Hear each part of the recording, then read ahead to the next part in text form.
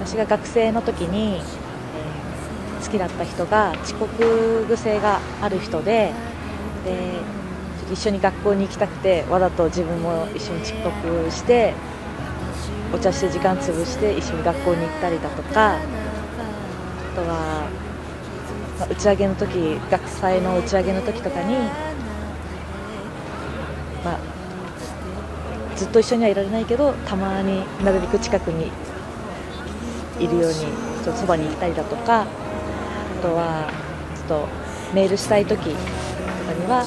あえてなんか宛先を間違えたふりしてメールを送ったりとかして付き合いたいような付き合いたくないような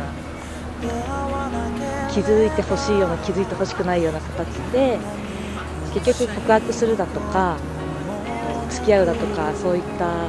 結果には至らなかったんですけど今となってはいい思い出です。